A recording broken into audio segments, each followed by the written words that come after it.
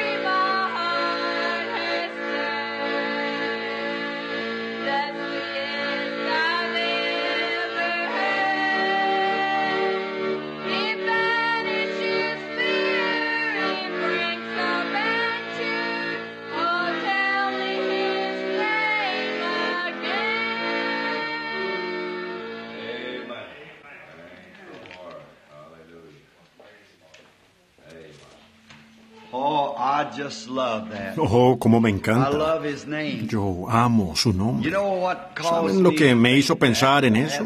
Para pedirle a esa damita que lo cantara. Ella es una amiguita de la escuela de mi niña, Rebeca. Y yo estaba atrás la otra mañana haciendo algo en la habitación. Oí ese canto y pensé, pues le pediré que lo cante en la iglesia en algún momento. On the road down, I'd taken the children to school and Y yendo de camino, llevando a los niños a la escuela, pues le hablé sobre el canto y ella dijo, raised up, "Pues so I simplemente desperté. Tal vez no lo diga con las mismas palabras, pero ella dijo, desperté la otra noche o estando en la cama. Estaba pensando en ese himno y recibí una gran bendición. Bueno, pensé, esto es sobresaliente en un adolescente. Hablar del Espíritu Santo in this bendiciéndole, especialmente en esta comunidad, en esta ciudad. Necesitamos más jóvenes como esa. Así es. Esta otra jovencita que también acaba de cantar aquí hace unos minutos. No sé su nombre, pero me gusta ver a esos pequeños, jovencitas, cantar. Saben, nuestro caminar pone un ejemplo para los demás. Seguro que sí.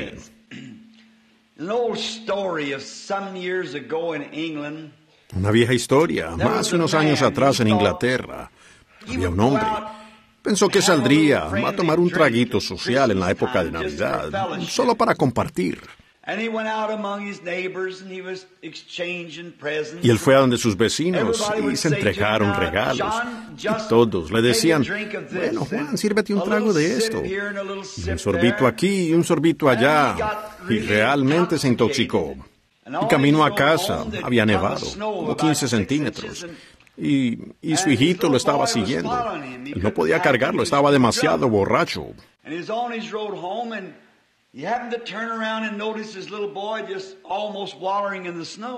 Y camino a su casa, se dio la vuelta y vio a su muchachito casi tambaleándose en la nieve. Y dijo, hijo, ¿por qué estás tambaleando en la nieve? Dijo, papá, estoy tratando de seguir tus pasos. Y él levantó al pequeñito en sus brazos y dijo, Dios, desde este día en adelante nunca tomaré otro trago. Alguien seguirá los pasos suyos. Caminemos esa línea recta, desde la cuna hasta el Calvario. Esas son las huellas. Dejémoslas como camino.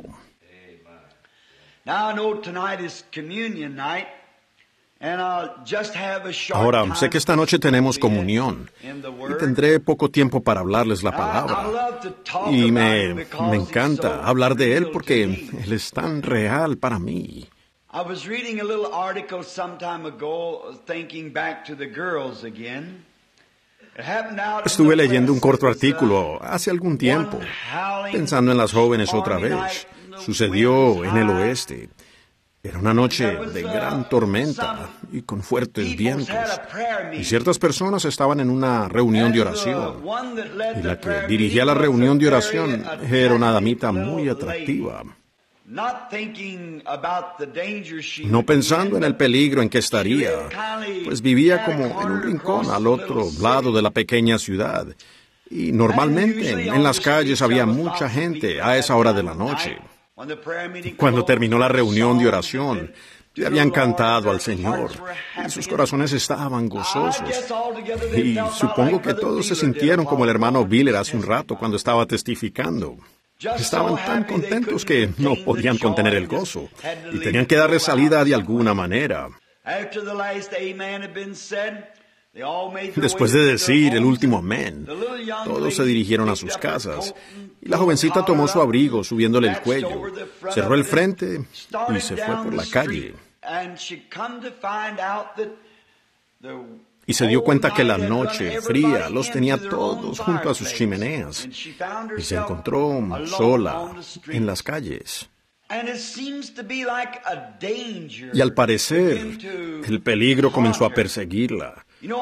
Saben, estoy tan contento que el Espíritu Santo pueda advertirnos de cosas que vienen, escapar esos peligros. Y ella nunca se imaginó que tendría miedo. Así que solo se puso a cantar ese antiguo himno. No, nunca a solas. Y a medida que cruzaba el pueblo, parecía que nadie iba a molestarla. Pero de repente, de nuevo le vino ese gran temor. Y de casualidad miró.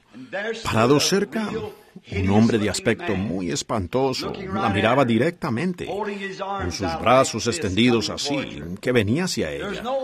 No había forma de escapar. Y es una historia real. Así que ella no podía correr, él atraparía.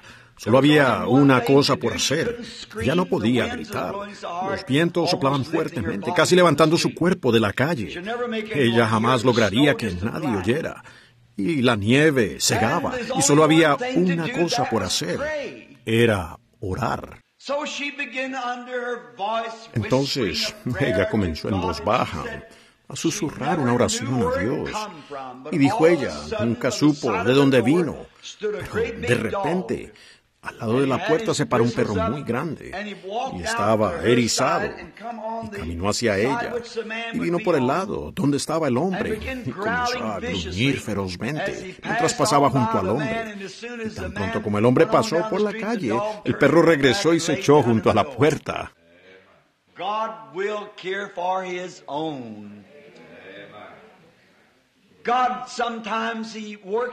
Dios cuidará de los suyos.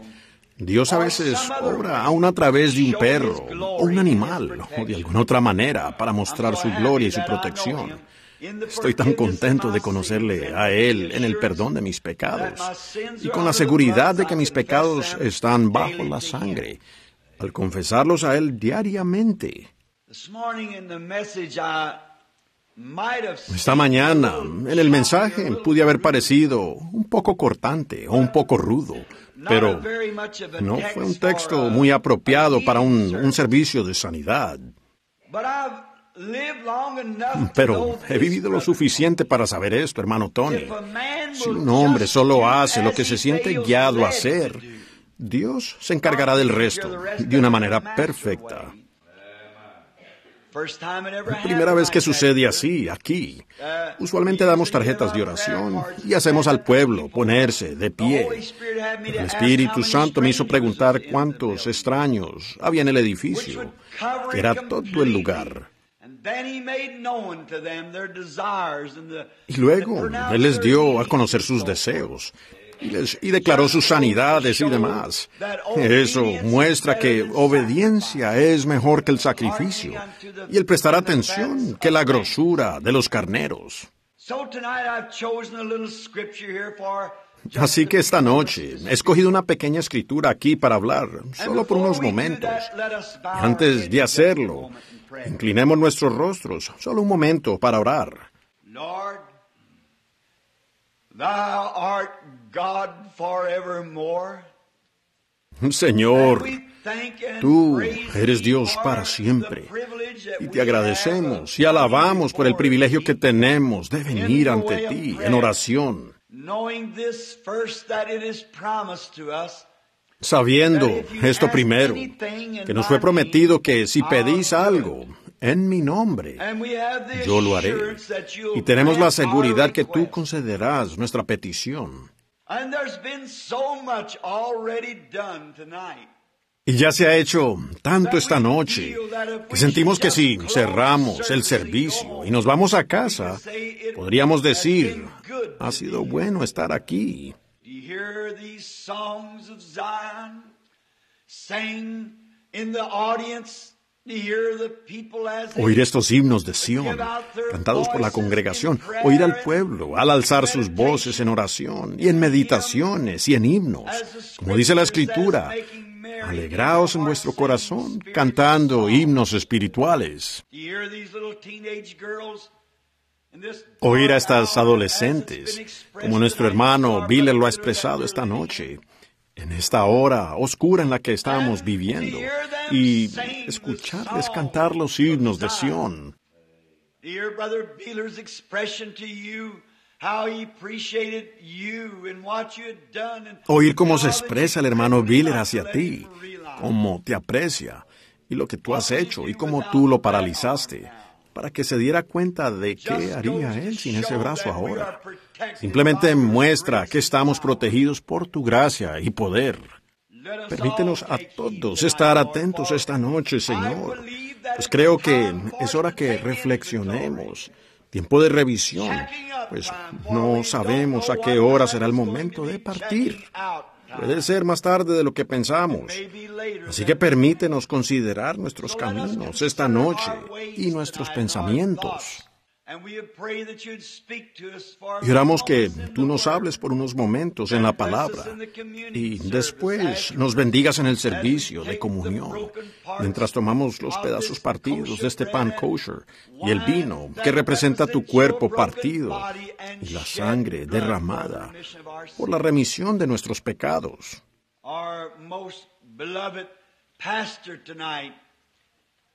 Nuestro muy amado pastor no se sentía muy bien en esta noche, pero en nuestra conversación telefónica, él lo ha puesto sobre el altar.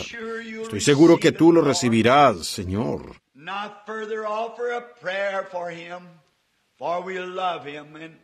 Y además oro por él porque lo amamos y lo necesitamos. Oramos por él y su familia y por cada familia que está aquí y por todas las peticiones expresadas esta noche y las no habladas también. Continúa bendiciéndonos en las reuniones porque lo pedimos en el nombre de Jesús, tu Hijo. Amén.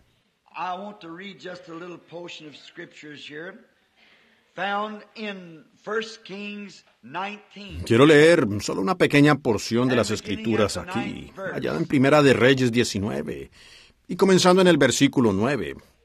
And he came thither unto a cave. Y allí se metió en una cueva, donde pasó la noche. Y vino a él palabra de Jehová, el cual dijo, ¿qué haces aquí, Elías?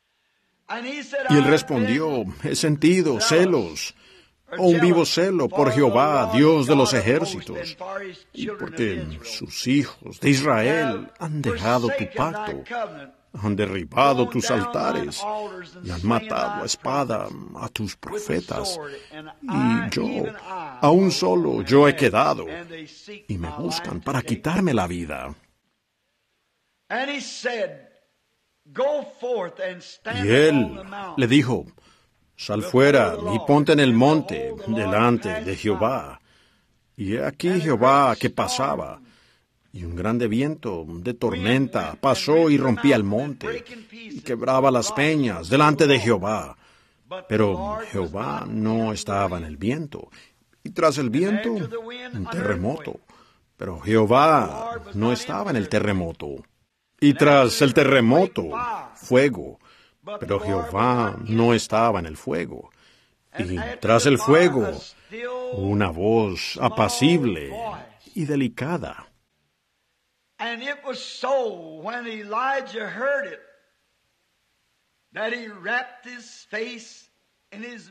Y cuando lo oyó, Elías cubrió su rostro con su manto y salió y se puso a la entrada de la cueva. Y aquí vino a él una voz diciendo, ¿qué haces aquí, Elías? I want to take for a text for a few moments. Quiero tomar como texto por unos momentos. ¿Qué haces aquí? Elijah had had a hard day. He had been on Mount Carmel. Elías había tenido un día duro. Había estado en el monte Carmelo y había visto bajar la gloria del Señor. Había orado para que fuego bajara de los cielos y, y después oró que la lluvia cayera sobre la tierra. Y con toda esta tensión, sus nervios estaban casi destrozados. Oh, cómo lo compadezco.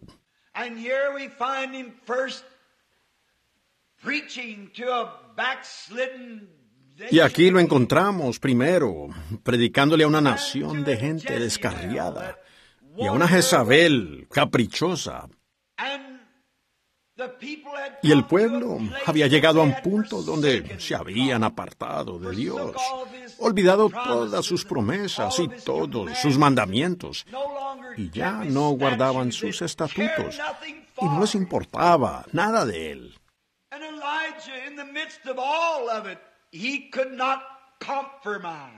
Y Elías, en medio de todo esto, no podía ceder. Tenía que pararse firme por sus convicciones. Oh, como vemos eso hoy. And they had a queen there by the name of Jezebel. Y ellos tenían una reina ya, llamada Jezabel. Y ella había hecho descarriar a todos los hijos de Israel con su estilo moderno y fantástico de vivir. Ella les hizo cometer fornicaciones y hacer cosas diabólicas. Qué buen reflejo es eso de este día. Pero Elías, en medio de todo eso, aun cuando muchos de los hijos de Israel, miles de ellos se habían comprometido y querían vivir un estilo de vida moderno. En todo, Elías no cedió. Le dijo a Jezabel su lugar y cómo se debía comportar. Oh, ella odiaba a ese profeta. Pero, como siempre, ella no lo aceptó a él. Pero él era su pastor. Oh, muchas veces no quieren aceptarlo. Pero un hombre enviado de Dios a una comunidad es el pastor de toda la comunidad, si es bautista, presbiteriano o quien sea. God anoints his man. And he will Dios unge a su hombre y él no cederá. Y el pueblo a veces lo odia porque se para por la verdad, pero aún así él es el pastor de Dios para la hora. Oh, ella lo aborrecía. Ella hizo todo lo que pudo para matarlo, pero con todo él fue fiel a los principios de Dios y a los parámetros de Dios. Her modern parties and socials Sus fiestas modernas y lo social y la pintura en su rostro y su vestimenta habían contaminado a esa nación. Y el viejo Elías no fue amigable. Le dijo directamente cuál era su condición. Dios, envíanos más Elías en este día, que no se comprometan con el pecado. Alguien que predique la verdad sin importar qué tanto duela. Dios aún tiene siervos en cada comunidad que no cederán ante las cosas del mundo. A Elías no le gustaba el estilo moderno de las cosas, así que se mantuvo fiel a Dios. Y el enfrentamiento llegó. Y el enfrentamiento ha llegado de nuevo. Y Elías en el Monte Carmelo, cuando ellos pensaban que todos los días de los milagros habían pasado y que ya no podrían existir tales milagros, había un hombre que creía en ellos. Y él dijo, traed a todos vuestros profetas, traedlos aquí a la montaña y probemos y veamos quién es Dios. Me encanta esa escritura. Oh, si alguna vez hubo un momento, en un lugar, en que el verdadero poder de Dios debiera ser manifestado, es hoy. Probemos qué es Dios. Si la educación es el camino hacia la libertad, ¿por qué no funciona? Si las posiciones sociales y demás son el camino a seguir, ¿por qué no sirven? Si pagar a otras naciones para que sean nuestras amigas y vemos que ellas se tornan en contra nuestra, tan pronto como pueden, pues uno no puede comprar amistad con dinero. La amistad es un regalo de Dios. Si las grandes iglesias y los grandes maestros son la salida, entonces, ¿por qué no tenemos más de Dios en nuestras comunidades? ¿Por qué estamos en un constante retroceso? Con el programa educacional y un púlpito bien entrenado y un coro bien entrenado. Y constantemente nos alejamos más de Dios todo el tiempo. Entonces eso no sirve. ¿Qué ha hecho la ciencia? La ciencia, usted dice, llegará el momento en que la ciencia podrá hacer esto y aquello. ¿Qué han hecho? Nos han llevado al punto en que están destruyendo el mundo entero. ¿Qué están haciendo? Están destruyendo el mundo en lugar de mejorarlo. Hace poco cuando el capitán Al Farrar del FBI, a cargo de la parte de menores de edad de los Estados Unidos, me tuvo en su oficina después de haberle guiado a Cristo abajo en la galería de tiro. Dijo, hermano Branham, soy un bautista. Oí que usted era bautista. Dije, sí, señor. Él dijo, pero yo no he recibido ese Espíritu Santo del que usted habla. Dijo, ¿cree que podría ser para mí? Yo dije, sí, señor. Él dijo, bueno, pediré una buena suite por allí, en un buen cuarto de hotel. Y vamos juntos. Y quizás él venga a la habitación del hotel y me llene con su espíritu. Yo dije, usted no tiene, no tiene que conseguir una suite de hotel. Dijo, bueno, ¿y dónde me encontraría él? Yo dije, aquí mismo. Él dijo, él no vendría a esta galería, ¿verdad? Aquí, a una galería de tiro. Yo dije, él entró al vientre de una ballena por uno, en un horno de fuego por otro. Él se reunirá con usted donde sea que usted se encuentre con él. Seguro. Dios quiere conocerle. Él quiere hablar con usted. Él vendrá donde usted esté. Ahora, Jezabel había contaminado la tierra los nervios de Elías habían estado tensos. Él había hecho grandes milagros y hecho señales en el monte para probar que Dios aún era Dios y que podía responder por medio de un milagro. ¿Y qué resultados obtuvo? Una amenaza para su propia vida. ¿Qué trajo en vez de un avivamiento universal? Trajo una amenaza a su vida. Jezabel, cuando Acab le dijo estas cosas, ella dijo, así me hagan los dioses, y aún más si no le corto la cabeza a esta hora mañana por la noche. Y Elías, que estaba tratando con mucho entusiasmo de Dios, tratando de mostrarle al pueblo que Dios aún era Dios. Y eso le jugó en su contra. Y él huyó al desierto cuando lo oyó. Y allí se acostó bajo el árbol de enebro, buscando consuelo. Había, había despachado a su siervo y lo había dejado. Ahora, nuestra historia sucede en tres lugares distintos. Una, el Monte Carmelo. Luego, bajo el árbol de enebro. Y el tercer lugar, donde Dios lo encuentra, está en una cueva. Y es muy extraño. El pastor aquí lo sabe y los demás ministros. Miren, después de su monte Carmelo, van a tener el árbol de enebro. Cuando un hombre tiene una bendición y el poder de Dios se derrama y hace algo por usted, cuidado, Satanás está en camino.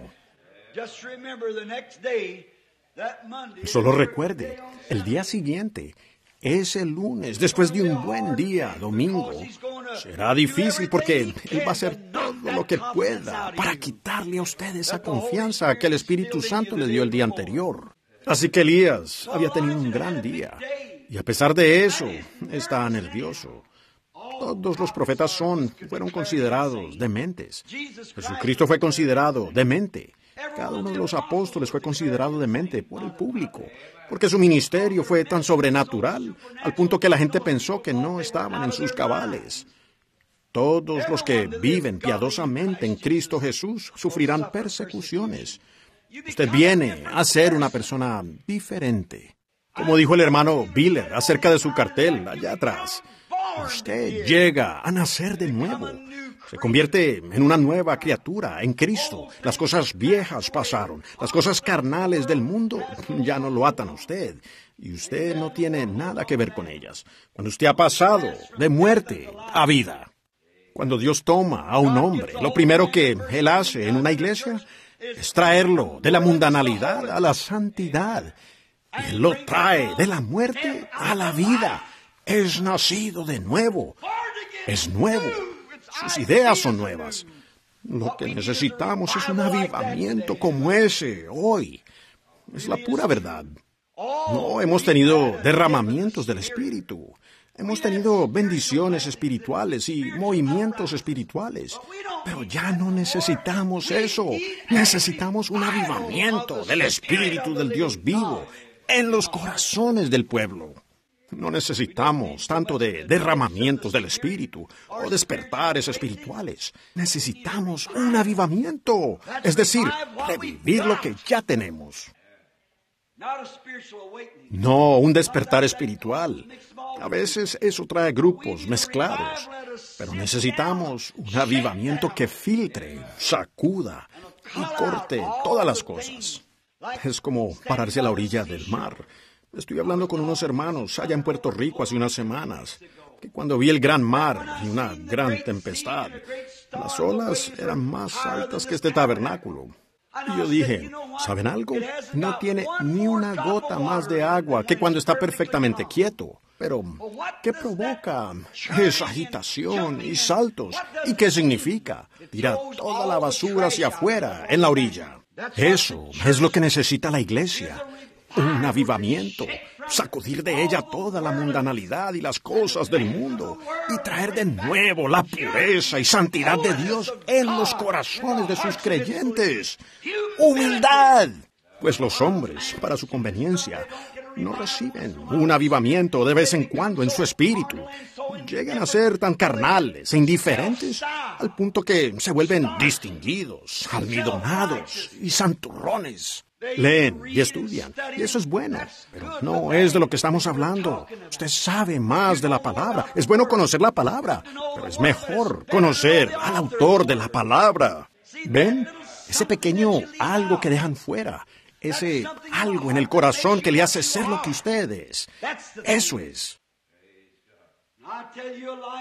Y déjeme decirles, Elías con sus nervios de punta, de todos modos, siempre sentí lástima por él. Sus nervios, como sea, estaban al borde del colapso. Y ese gran golpe de Jezabel remató el ataque.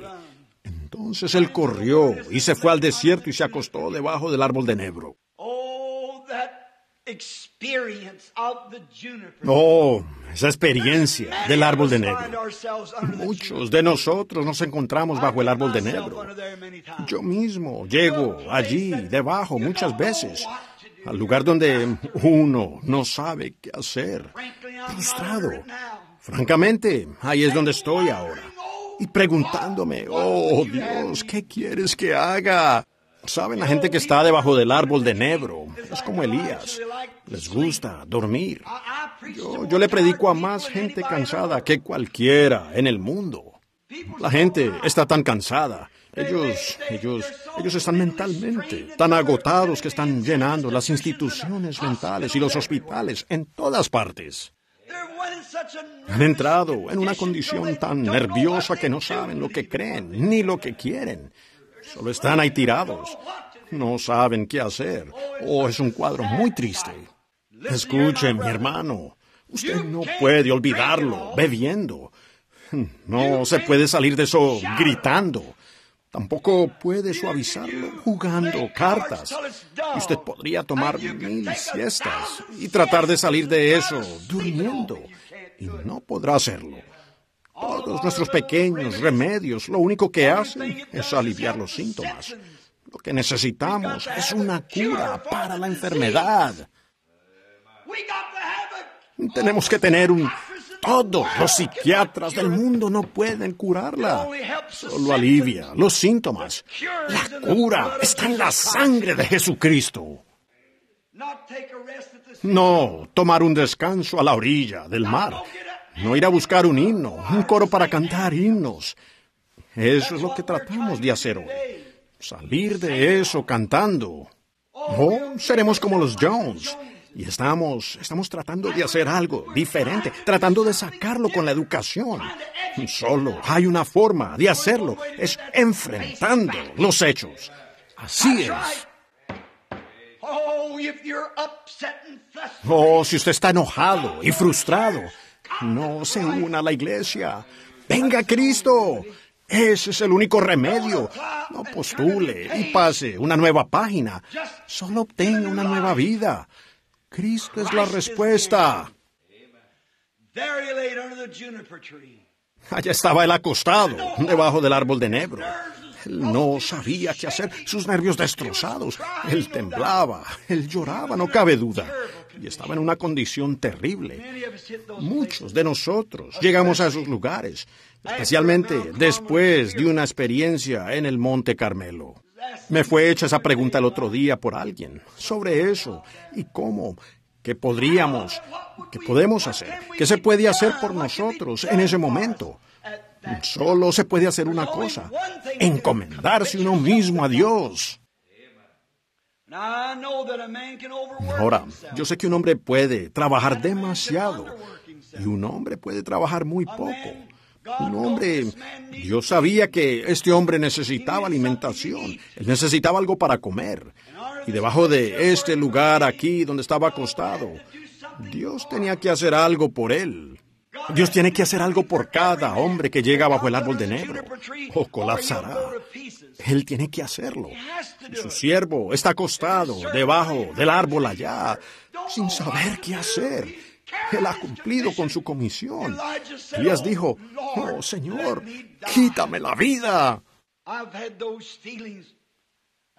He sentido eso después de salir de una reunión y al parecer me esforcé y prediqué y rogué y persuadí y viendo al ángel de Dios moverse en una reunión haciendo señales y maravillas. Y luego sentarme en un auto afuera y escucharlos comentar, decir, eso solo fue psicología, no es nada, eso no es nada, todo eso es una tontería. Oh, entonces me arrastro debajo del enebro. Pienso, Señor, ¿por qué, ¿por qué me permitiste hacerlo? ¿Qué se puede hacer? Todos pasamos por esas experiencias.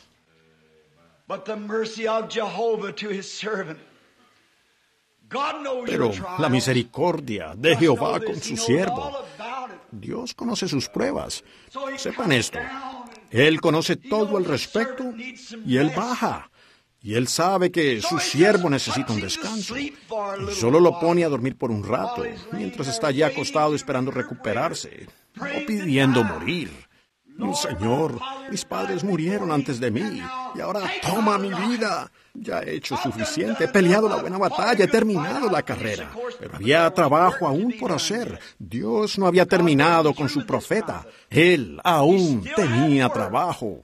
No importa cuánto clamemos y pensemos esto, aquello o lo otro, nada puede llevarnos hasta que Dios haya terminado con nosotros. Estoy tan contento de saber eso. A veces ustedes se sienten como me sucedió una vez. Me puse una pistola a la cabeza para suicidarme, pero no pude. Me quité el guante para agarrar un cable de alto voltaje donde estaba trabajando, pero no pude. Algo me mantuvo. El mismo Dios que estaba con Elías, ese mismo Dios hoy. Él me vio bajo el árbol de negro mi esposa y bebé allí en la tumba, y mi papá, mi hermano y todo. Yo mismo estaba casi fuera de mí. Yo me he acostado bajo el árbol de Nebro. Es difícil. Y llegué a un punto, estando tan fuera de mis cabales, que traté de volarme los sesos con una pistola. Pero no funcionó. ¿Ven? Aún queda trabajo por hacer. Hay algo que hacer. Dios no había terminado. Él siempre cuidará de usted. El pobre siervo cansado y agotado. Él lo vio. Él sabía dónde estaba. Él sabe dónde se encuentra usted esta noche. Puede que usted esté bajo un enebro, sin esperanza. Pero recuerde, Él sabe dónde está usted. No, necesitamos una cantidad de reparaciones. Como dijo la anciana de color allá en el sur, ella había tenido un accidente, un auto la había atropellado y fue, la lastimó bastante y el, y el abogado dijo, ¿quiere demandar por daños? Ella dijo, abogado, cielos, no, cariño. Dijo, ya tengo suficientes daños. Yo quiero una reparación.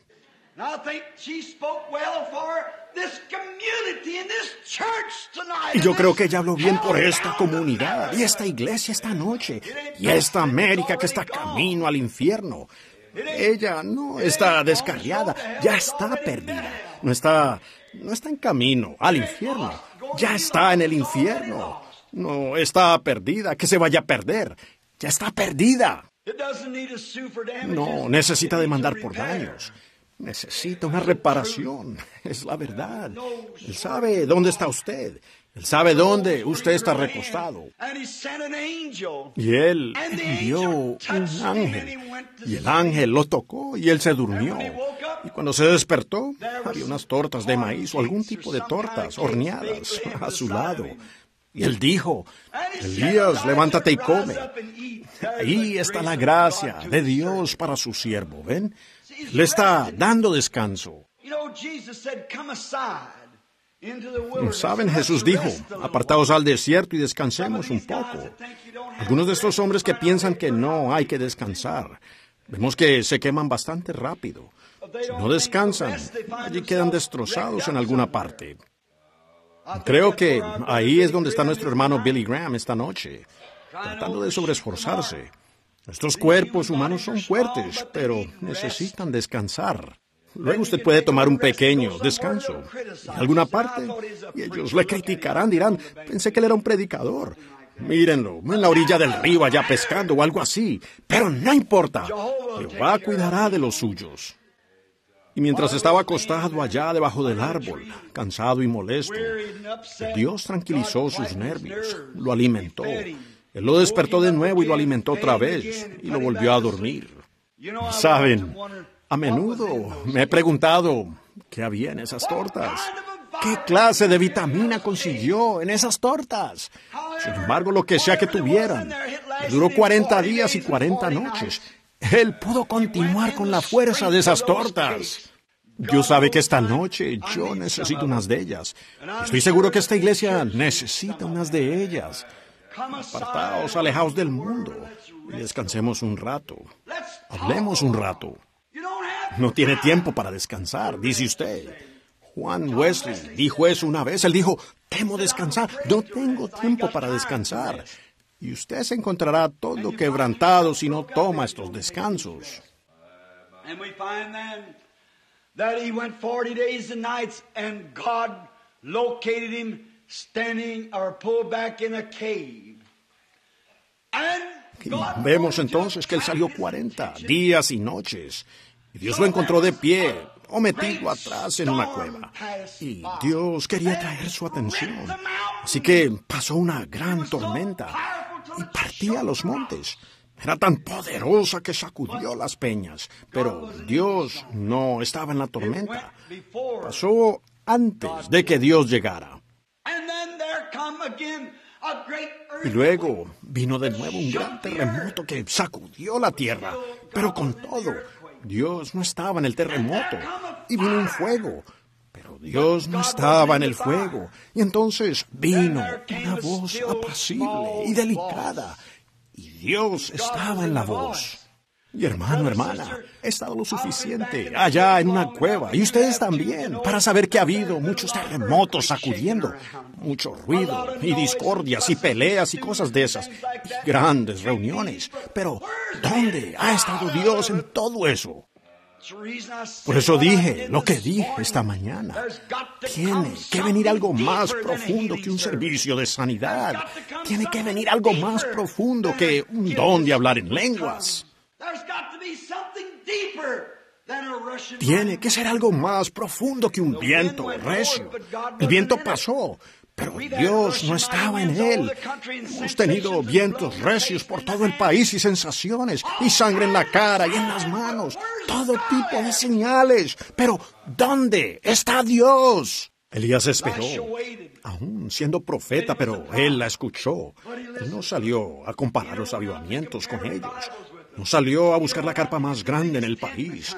No buscó salir en televisión y todo eso, como diríamos nosotros. Todo ese gran alboroto. Y América es culpable de escuchar esos ruidos. Oh, nos encanta el ruido. Pero Dios no está en el ruido. Aunque por honorables y demás que sean esas cosas, con todo, Dios no está en el ruido. Si eso fuera así, cuando los africanos tocan los tambores, nunca se ha oído semejante ruido ni ritmo. Dios no estaba en eso. Y hemos tenido vientos recios, hemos tenido toda clase de fuegos y terremotos y temblores y grandes avivamientos y cosas como esas. Dios no estaba en eso. Si hubiese estado, se hubiera manifestado. Pero después de eso, vino una voz apacible y delicada, y Dios estaba en la voz. Eso es lo que estoy pensando hoy, amigos. Nosotros estamos, estamos muy cautivados con todo ese ruido. Pues América ama el ruido. Miren lo que están haciendo. Encienden esos miserables radios a todo volumen con rock and roll y boogie woogie. Todo ese tipo de cosas. Tienen que ponerlo tan alto que casi le revientan los tímpanos a uno con todo el ruido durante todo el día. En la iglesia tocamos los panderos, hemos corrido de allá para acá y gritamos y aclamamos y lloramos y lo pasamos muy bien así. Nada en contra. Pero, ¿dónde estaba Dios en eso? ¿Qué hizo? Nos dividió en pequeños grupos llamados las asambleas de Dios, la iglesia de Dios, la pentecostal unida, todas estas otras pequeñas denominaciones diferentes. Dios no estaba en eso. Era un precursor de Dios. Es una estructura. Cuando usted ve el así llamado cristianismo hoy, la gente que va a las iglesias y, viven estas vidas tan distinguidas y salen y niegan la sanidad, y niegan el poder de Dios, y niegan una vida consagrada, llamándolos fanáticos. Recuerden, esa es la estructura. Eso es, hermano Wood, creo que usted lo llama andamiaje. Eso es algo falso. Es un marco que va por fuera. Dios solo se para allí para construir el edificio. Gloria a Dios. Solo es un marco falso que se ha desarmado. Aplaudimos y dijimos, gloria a Dios, cuando usted grita lo tiene. Los metodistas dijeron eso, los nazarenos. Ellos se dieron cuenta que no lo tenían. Los pentecostales dijeron, aplaudan y griten hasta que hablen en lenguas. Ya lo tienen. Pero nos enteramos que no lo teníamos.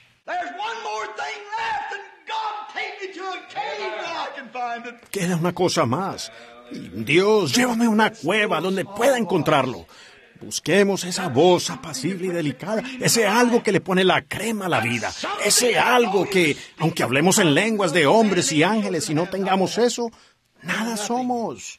Aunque puedan profetizar y hablar en lenguas y mostrar señales y maravillas y hacer milagros y hacer grandes señales. Pero si esa suave, voz apacible y delicada no está adentro, nada somos, dice la Escritura. A eso queremos prestar atención ahora.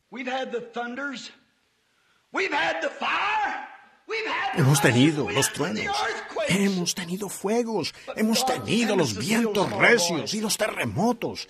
Pero Dios Envíanos la voz apacible y delicada. Eso es lo que necesitamos. Escuche, hermano. Necesitamos esa voz apacible y delicada. Una voz apacible y delicada que habló. Jesús dice no podían oír su voz en la calle. No lo escucharon al gritando. Él fue nuestro ejemplo. Mírenlo a él. Él fue comparado, su espíritu, a una paloma mansa. Las cosas grandes son cosas silenciosas. ¿Sabían eso, amigos? Escuchen, el sol que da vida en la tierra, a toda cosa viviente, en la vida botánica, vida de las plantas, vida de los árboles, todo lo demás. Trae vida, el sol.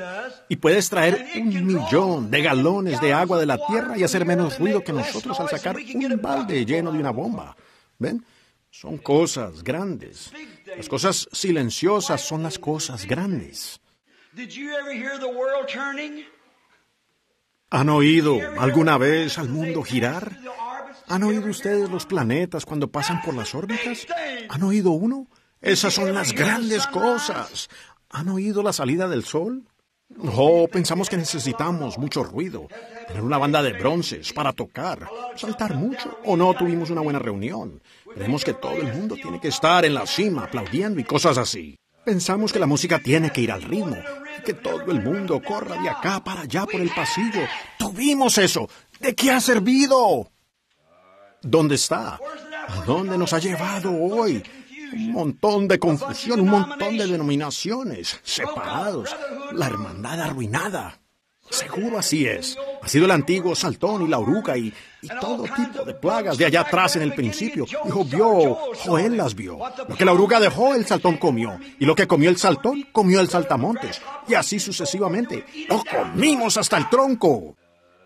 Pero la escritura dice, yo restauraré, dice el Señor. Estamos esperando algo. Con todo el griterío hemos tenido suficiente explosión y ruido para convertir al mundo entero. Hemos tenido suficientes hurrás y gritos y ese comportamiento hasta que... ¿Qué ha hecho? No ha edificado la iglesia. Ha construido denominaciones. Ha hecho que los hombres salgan con ideas envanecidas y llenos de orgullo. No me gusta eso. Salen a la plataforma, dicen, oh, mírenlo. Él es un príncipe. Mira cómo viste, muy pulido y demás. Sabe cómo vocalizar y todo eso. Eso no es lo que Dios escoge. Un profeta pensó así un día. Él iba a ungir a un siervo. Él dijo, él es el más alto de la familia, se verá bien. Pero Dios lo rechazó. Usted no tiene que tener príncipes ni, ni todo eso y pararse allá como yo no sé qué. No es la ropa que usted usa ni la elocuencia con la que usted habla. Es ese algo que está dentro de usted. Esa voz de Dios. Eso es lo que es. El profeta pasó a otro. Dijo, ese no es. Dios lo ha rechazado. Pasó a otro. Dijo, ¿no tienes otro? Dijo, tenemos a un pequeño pelirrojo aquí atrás en la colina, pastoreando las ovejas. Era David. Cuando trajeron a este pequeño pelirrojo pecoso por allí con sus pequeños hombros encorvados y envuelto en una piel de oveja, Dios dijo, Él es. Todas sus grandes posiciones y camisas almidonadas no van con Dios. Usted puede ser DDD, PhD o WLD. Usted puede ser obispo, papa o lo que sea, pero se necesita a Dios para hacer algo de la nada. Mientras usted pueda hacer la nada, Dios es el algo. Mientras ustedes puedan quitarse de en medio, entonces Dios puede entrar. Pero cuando usted está tan creído y almidonado, al punto que tiene lo más grande y lo mejor, no tiene nada de lo que debería tener, que es un corazón humilde ante Dios. Y sabemos eso, hermanos, seguro. Usted nunca vio o escuchó la salida del sol. Nunca la escuchó. ¿Salió usted alguna vez por la noche a escuchar la caída del rocío? ¿Qué haríamos sin él? ¿Ven? No requiere de eso. Les diré algo ahora. Es la quietud. No son las aguas agitadas que hacen tanto ruido y que saltan, las que reflejan en ellas la belleza de las estrellas. Es el pequeño pozo que es profundo y tranquilo, el que refleja la belleza de las estrellas. Lo que necesitamos esta noche es esa profunda y rica experiencia, ese algo dentro de nosotros. No, no tiene que gritar, pero podría hacerlo. Pero ponemos todo el énfasis en nosotros, gritar. Puede ser que nunca hablen lenguas, aunque podría, pero ponemos todo el énfasis en eso.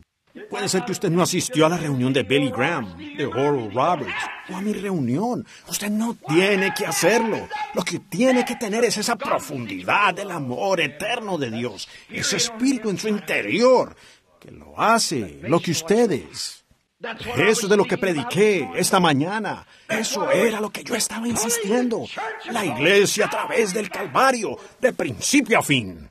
No lo crean porque ustedes han hablado en lenguas, o porque saben tanto de las escrituras, o porque han leído los libros de alguien y porque saben más que el otro.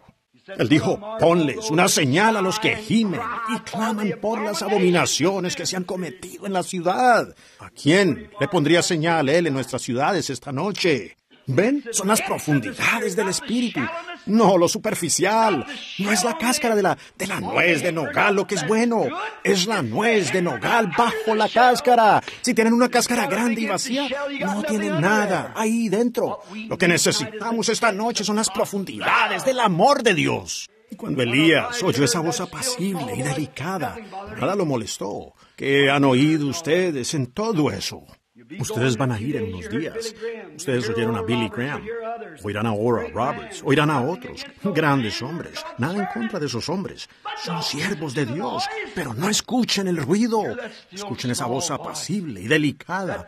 Esas profundidades de algo que entra en el corazón humano, que aparta toda tontería de ustedes, saca todo el mundo afuera y hace odiar las cosas del mundo y amar las cosas de Dios. Esa es la profundidad. Ese es el pozo que refleja las estrellas de la gloria eterna de Dios. Eso es lo que saca lágrimas de los ojos. Trae gozo inexplicable y lleno de gloria. Lo hace soportar cuando todas las otras cosas le fallen. Hace que cuando llega la enfermedad o incluso la muerte misma, aún tiene allí el reflejo de las bendiciones de Dios. Ese pequeño pozo que es profundo y refleja los cielos, el estruendo y el ruido del agua. Las aguas torrentosas no son muy profundas, son las aguas tranquilas las que son profundas. Que Dios nos ayude esta noche, amigos, mientras venimos a la mesa de la comunión, para recordar eso. No importa lo que hagamos externamente, cuántas cosas buenas hagamos. Usted dice, bueno, hermano Branham, yo voy a la iglesia, trato de vivir lo mejor que puedo. Muy bien, nada en contra de eso, hermano. Yo he hablado en lenguas, hermano Branham. He gritado en el espíritu. Eso es bueno. Pero eso no es de lo que estoy hablando, hermano. Eso aún no es. Eso no es de lo que estoy hablando. Estoy hablando de esa voz apacible y delicada. Ese algo rico y real. Eso lo solía ver cuando las mamás de antaño venían por este pasillo aquí hace años. Las lágrimas rodando por sus mejillas cuando un joven pecador se levantaba para venir al altar. Hoy hago un llamado y veo a un joven venir. Ellos se sientan y revientan su goma de mascar. ¿Qué sucede? Han perdido el escuchar de aquello. ¿Qué ha oído usted? ¿Qué oyes? Estamos en el tiempo del fin. Ustedes oyen en la televisión y en la radio y en sus revistas, en sus periódicos, que algún día un torbellino pasará por este país. ¿Qué van a esperar escuchar ustedes? A oír esa gran alarma. Su radio encendido todo el día con todas esas tonterías continuamente. Para oír cuando van a caer las balas, o las bombas. Yo no escucho esas cosas. Estoy esperando oír una voz que dice, sube acá. Bien hecho, mi buen y fiel siervo. ¿Qué oyes?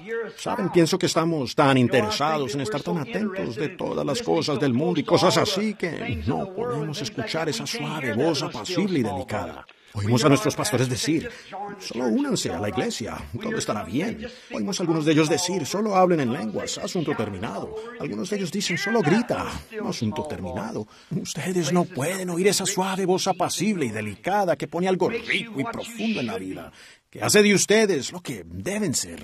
Un trigo no produce trigo por estar en una vid o en un tallo. Una hierba también está en tallo. Se necesita la vida en esa vid para producir trigo. Las aguas que caen sobre ella regarán a las dos. Ambas se regocijarán por ello. Las dos crecerán por ello. Los hombres y las mujeres pueden crecer gritando y alabando a Dios, hablando en lenguas y perteneciendo a la iglesia, danzando en el espíritu y pagando diezmos. Y aún así no tener en su corazón esa apacible voz delicada, el rico amor profundo de Dios. Si entregase mi cuerpo para ser quemado como sacrificio y no tengo amor, nada soy. Si doy todos mis bienes para dar de comer a los pobres, aún nada soy. Si tengo fe para mover la montaña, aún nada soy. Si yo, yo, yo hablase lenguas humanas y angélicas, aún nada soy. ¿Ven? Es esa voz apacible y delicada que habla dentro de su corazón, que cambia cada actitud, hace que la naturaleza sea diferente y usted viene a ser una nueva criatura en Cristo. ¿Qué oyes? Depende de lo que usted esté escuchando, amigo. Si están escuchando oír, no es criticando o reflexiones, pero si ustedes esperan escuchar de un gran avivamiento en algún lugar donde se reúnen diez mil personas, adelante. Pero ustedes están escuchando algo equivocado. Iré a ver. Dicen que tienen grandes multitudes.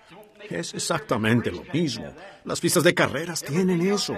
Todo lo demás tiene eso. Los rockeros tienen eso. Voy a ir a... Voy a ir a esta otra cosa. Si usted va tras cualquier otra cosa, que no sea, está escuchando algo aparte de esa voz apacible y delicada, regrese a la cueva, vuelva bajo el árbol de enebro, hasta que podamos prepararnos. Aquíétese y espere. Deje que pasen los truenos. Deje que el terremoto sacuda. Deje que los vientos recios pasen, el fuego arrase, lo que sea.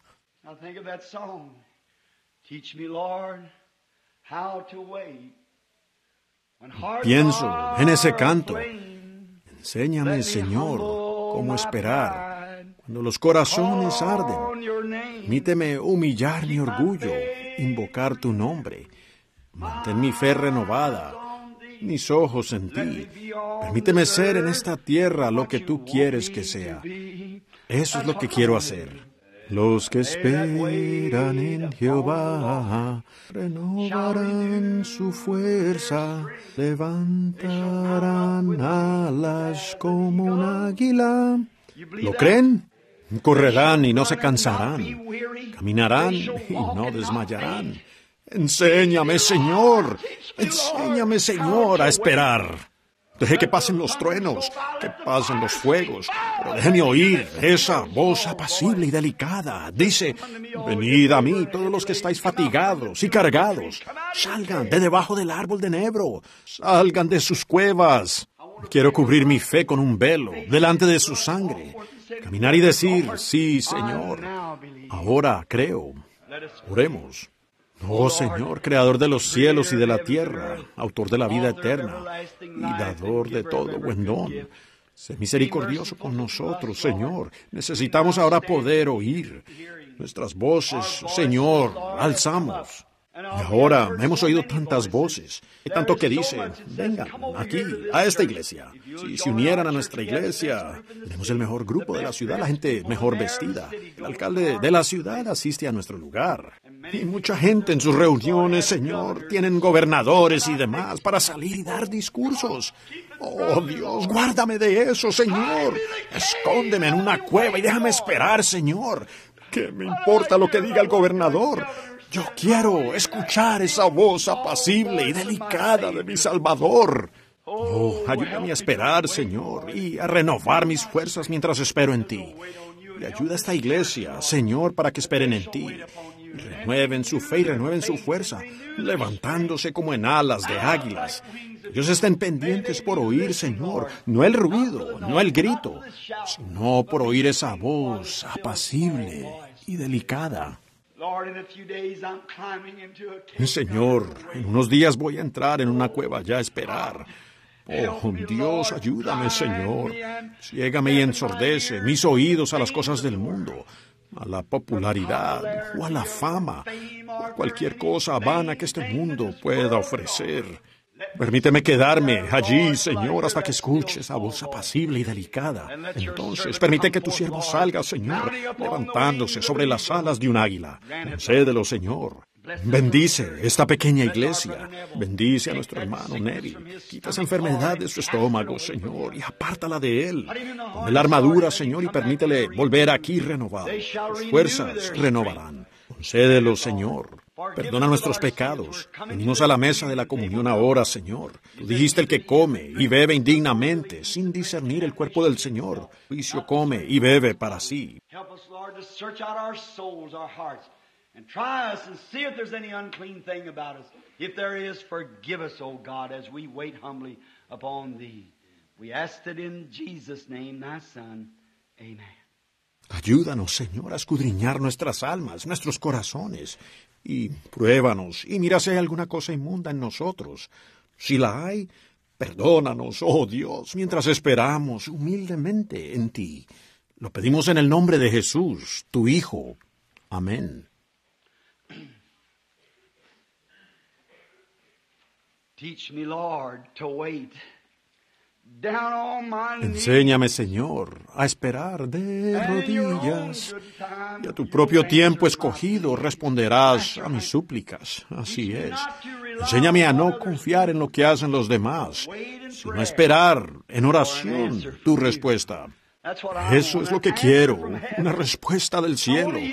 Quiero oír su voz, no la voz del gerente, no la voz del alcalde, no la voz del gobernador, no la voz del obispo. Quiero oír tu voz, Señor. Esa mansedumbre y dulzura del Espíritu Santo hablando en mi corazón. Venid a mí todos los que estáis trabajados y cargados. Sí, Señor, estamos acostados bajo un árbol de enebro ahora.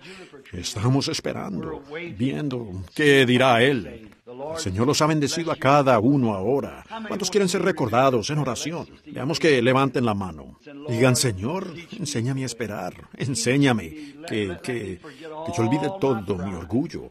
Cuando otros van pasando, haciendo grandes cosas así, permíteme humillar mi orgullo. Solo invocar tu nombre. Enséñame a no confiar en lo que hacen otros, sino solo esperar en oración por una respuesta tuya. Lo hizo Elías. Él esperó allá atrás. Él escuchó el trueno, escuchó el relámpago, oyó el derrumbe de las peñas, oyó el fuego, oyó el viento. Pero eso no era lo que él estaba buscando. Eso ni siquiera movió al profeta. Él dejó que pasara. Pero cuando vino esa voz apacible y delicada, él levantó su manto y cubrió su rostro y fue hasta el final de la cueva. Y el Señor dijo, ve párate sobre la roca allá abajo. Eso es lo que yo quiero oír. Párate sobre la roca. Muy bien, es el momento ahora de la comunión. El Señor los bendiga. Pienso primero, antes de que hagamos esto, queremos orar por cada uno aquí que levantaron sus manos, que realmente querían que Dios les hablara. ¿Hay aquí algunos de ustedes bajo el árbol de Nebro en esta noche? Levanten la mano. Seguro, seguro lo estamos. Muchos de ustedes están aquí en la cueva, esperando. Han visto pasar todas estas cosas. Oyeron los grandes avivamientos de Billy Graham, de Oral Roberts, los míos, en todas partes. Tommy Osborne, Tommy Hicks, todos estos que van pasando. Pero, ¿dónde está aquello? ¿Dónde está esa voz? Ustedes dicen, he gritado con los Jessups, he, he danzado en el espíritu con los corazones musicales. Yo, todas estas otras cosas, he hecho todo eso. Pero, ¿dónde está ese algo, hermano Branham, que me y me pone una carga por las almas perdidas, al punto que no puedo descansar a causa de ello. Ahora, esa es la única clase que va a entrar. Eso es lo que dice la Biblia. Con un sello solo a los que gimen y claman a causa de las abominaciones que se hacen en la ciudad. Oh, ahí es donde lo necesitamos, amigos. Oremos otra vez.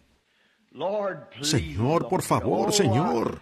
Oh, yo podría cantar demasiado, podría predicar demasiado, podría gritar demasiado, podría clamar demasiado, pero nunca oraría demasiado. Oh, Dios, examíname y pruébame.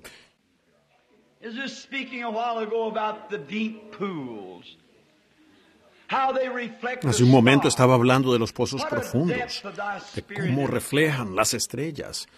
Pon en nosotros una profundidad de tu espíritu, Señor, como dijo el profeta David.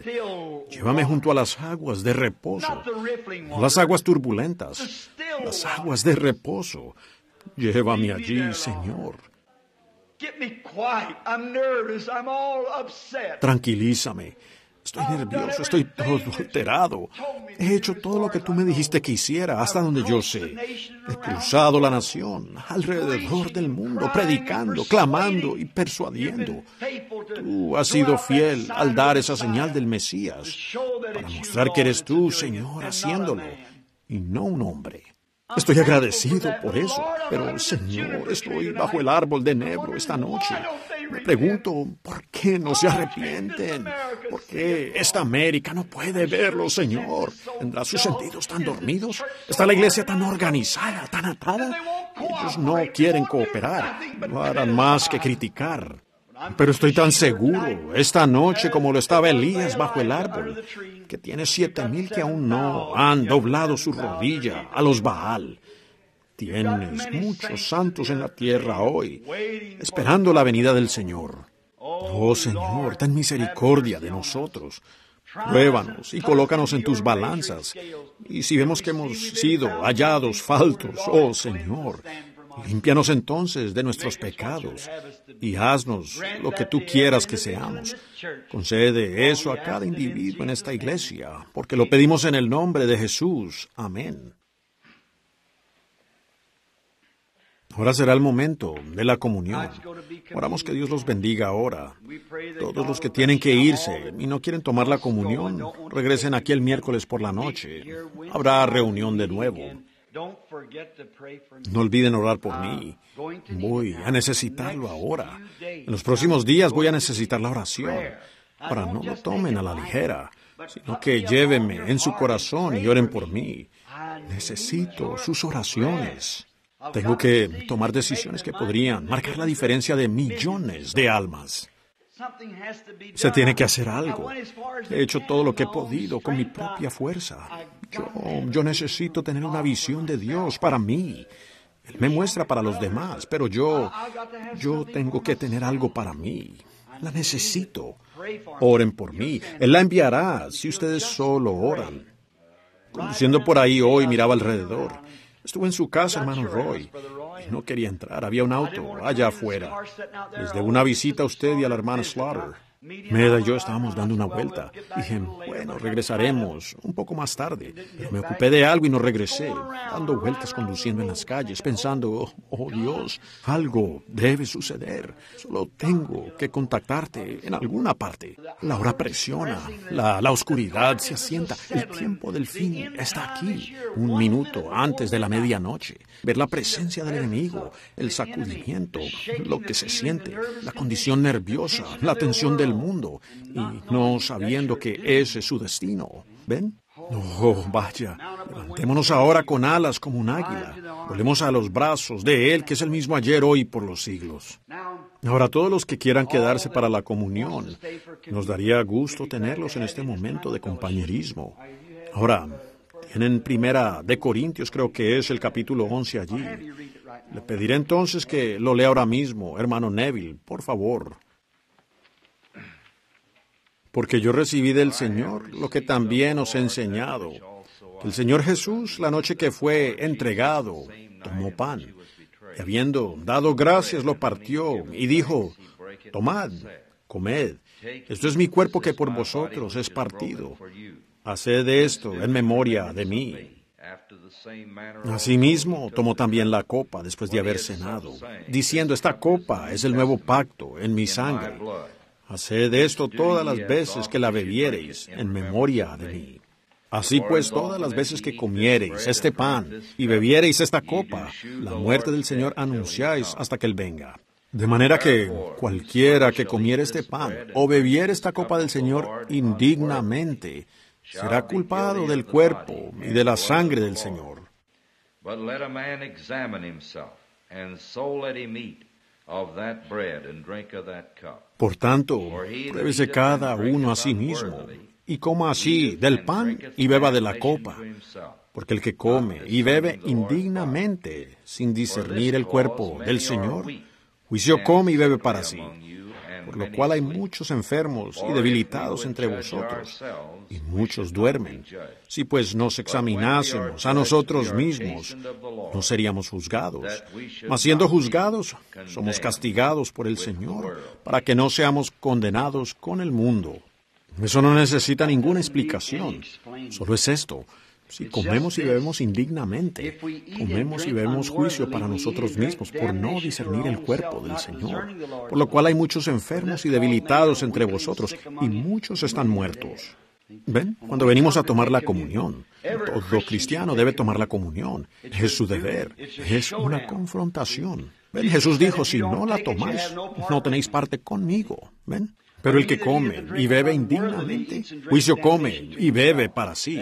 Es decir, si usted todavía está fuera con el mundo y haciendo cosas del mundo y la gente lo ve tomando la comunión, usted está haciendo mal.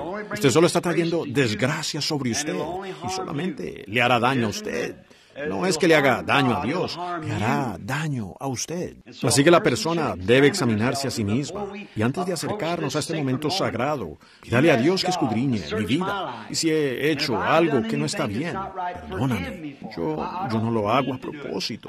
Lo arreglaré si Él me lo revela. Y pediré lo mismo por ustedes. Dice, cuando os reunís, esperaos unos a otros. Es decir, espérense unos a otros y oren los unos por los otros. Queremos tomar esta comunión. Y si no lo hacemos, no tenemos parte con Él. Eso es lo que Él dijo. Primera, o San Juan, el capítulo 6. Ahora oremos. Ustedes oren por mí en silencio mientras yo oro por ustedes.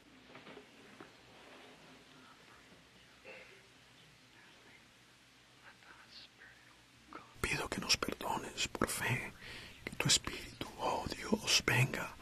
Pido que nos perdones de todas nuestras ofensas a los hombres. Perdón. Oh, Oh, Señor, escucha nuestra oración. Esta es nuestra oración de perdón, Señor. Oramos por el perdón. Pedimos misericordia. Perdónanos, Señor, como está escrito en tu palabra. Perdona nuestras ofensas, así como nosotros perdonamos a los que nos ofenden. Y no nos metas en tentación, mas líbranos del mal porque tuyo es el reino y el poder y la gloria por todos los siglos. Amén.